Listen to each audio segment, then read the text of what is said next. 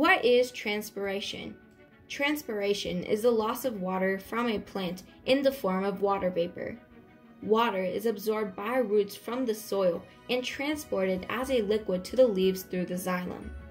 In the leaves, small pores called the stomata allow water to escape as a vapor.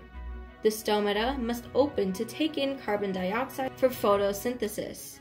The more they are open, the more plants transpire and lose water. When water loss exceeds water intake, it can stop the plant's growth and ultimately lead to death by dehydration. This is an experiment about transpiration.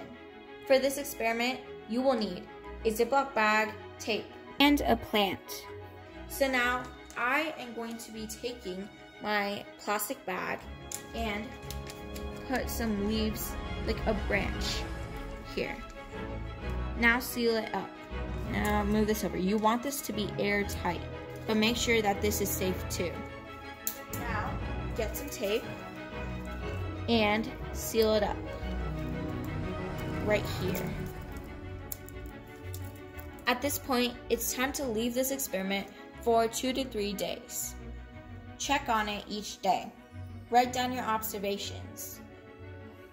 I don't really notice any change since yesterday. So I'm starting to see some difference.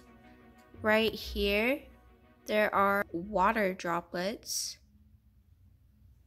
So starting to see some condensation forming right here. Notice how much condensation there is. I'm thinking of leaving it for one more day just to see more water.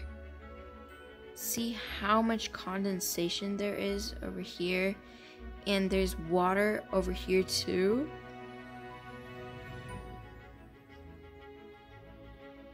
Amazing.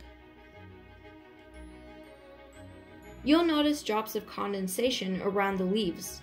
Water is pulled up from the roots of the plant and is transported to the leaves of the plant, where it leaves the plant as water vapor.